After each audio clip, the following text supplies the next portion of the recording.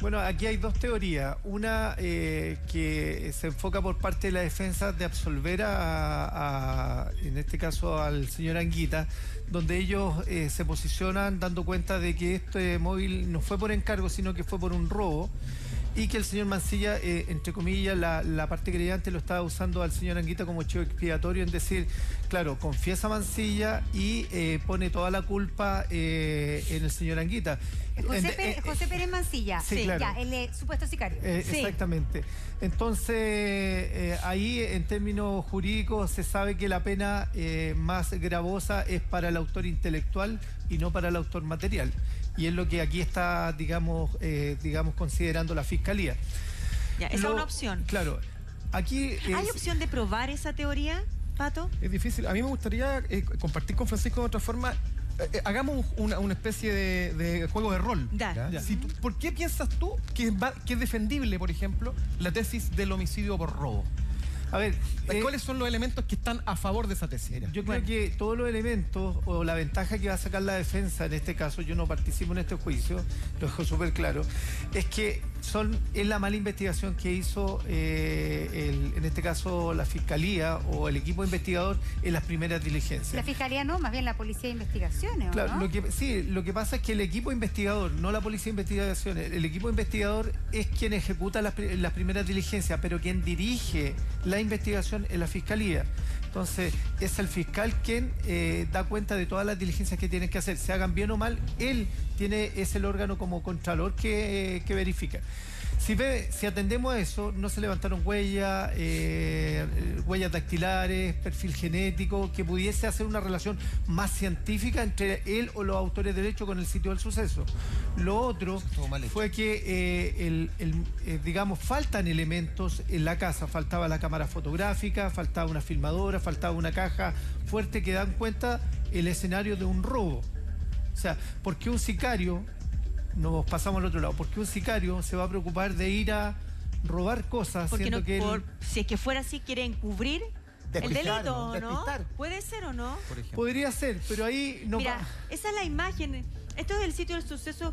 Eh, ¿Por qué dicen que esta imagen es clave en cómo se encontró la cama, en las cosas que están ahí? ¿Por qué, A ver, aquí tenemos este sitio del suceso. Eh, hay que entender que la cama está, no está pegada a la muralla, está desplazada. Entonces, si hay un desplazamiento de la cama, yo como investigador claramente voy a indicar esta fue movida. Voy a aplicar reactivo en la cama para levantar huellas dactilares. ¿Se aplicó reactivo? Eh, no. Pero podría haber dado cuenta que ahí hubo como una especie de forcejeo, porque lo que tenemos entendido que la, eh, señora Viviana eh, era muy, muy delgadita, muy, muy, muy, muy, delgadita. y por, la, por el testimonio que entrega José Pérez, rápidamente la inmovilizó. Pero entonces uno se pregunta, ¿esto habrá sido armado? Por este hombre, el mover la cama, el desordenar, o se podía haber producido de verdad ahí un enfrenta algo, algún forcejeo, Mira, hay, elementos que no están muy claros y respecto a la reconstitución de escena, eh, él dice que la borda, la reduce, le tira un brazo hacia atrás y la obliga a caminar. Pero no está claro el elemento con, que, con el cual la amenaza. Porque yo como persona me puedo negar, eh, digamos, más allá que yo sea delgadita, a subir a, al segundo piso y lo otro que me fuerce a, agacharme y ponerme bajo una posición. Si nosotros vemos esta imagen, tú te puedes dar cuenta que hay varios elementos, hay cuadernos eh, y la pregunta es, ¿dónde la arrodilló? ¿Dónde él, eh, digamos, eh, la, ¿cómo se llama? La sometió.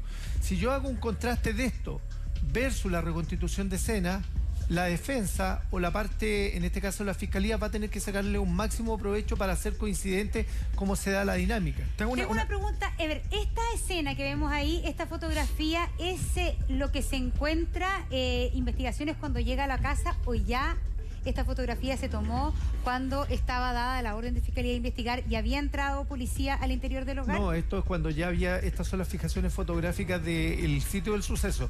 Cuando uno llega a una escena del crimen, los protocolos son la observación, la fijación fotográfica, la, el eh, levantamiento de rastro, huella e indicio y luego el levantamiento rotulado, embalado para. Es que te lo pregunto porque justamente la crítica que se hace es que no se siguió ese protocolo y que no hay claridad finalmente si llega la policía cuando esto estaba ya desordenado o cuando efectivamente ellos no siguieron el protocolo de tomar primero huellas dactilares, la fotografía, sino que trataron de buscar algo que pasaba ahí. Y por eso que también eh, está implícito en todo esto, también una crítica al procedimiento y también aparece la sospecha, y eso es lo que dice mucha gente en Puerto Vara.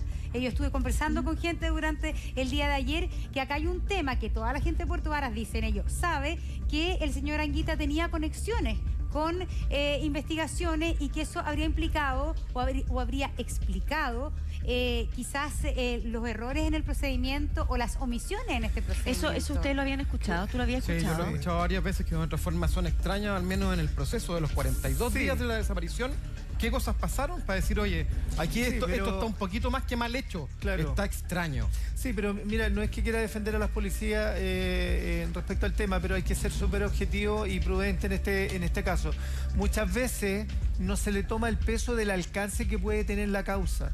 Entonces un sitio del suceso se trabaja de manera muy básica o no se trabaja no pensando que eh, esto se va a agravar. Aquí a lo mejor el razonamiento del, personal investigador fue, bueno, esta señora desapareció, se le descargó el celular, debe estar desaparecida, va a aparecer en un par de días más. Pero ellos nunca pensaron la consecuencia a la postre que iba a traer esto.